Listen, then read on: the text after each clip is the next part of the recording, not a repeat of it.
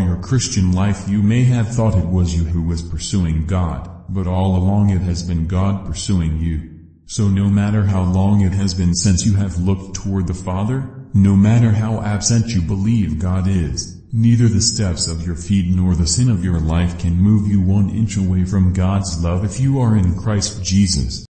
The pressures crush, and you can see no way out, but suddenly God does something so wonderful, so grand, it literally takes your breath away, and you know that you know that you know the God of the whole universe, the one who created you and continues to love you so much that you are graven on his palm, isn't going to leave you there, but the love that God has expressed for all human beings is eternal. When Jesus had died on the cross to pay the sin debt for all people that will come to him by faith in the right spirit and with the right attitude, then he had paved the way for them to be reconciled to him and to have everlasting life in heaven with him.